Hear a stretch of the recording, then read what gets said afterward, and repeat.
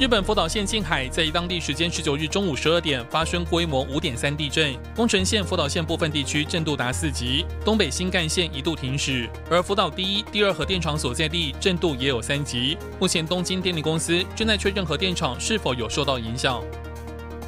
美国总统川普周一表示，他正服用羟氯喹宁以预防中共病毒，而且已经连续服用了一个多礼拜。中共当局持续加强网络监控的力道。脸书创办人暨执行长祖克伯表示，中共的做法与西方民主国家的价值观大相径庭，非常危险。欧盟应该为科技规范订定明确的标准，让其成为全球遵循的普世原则。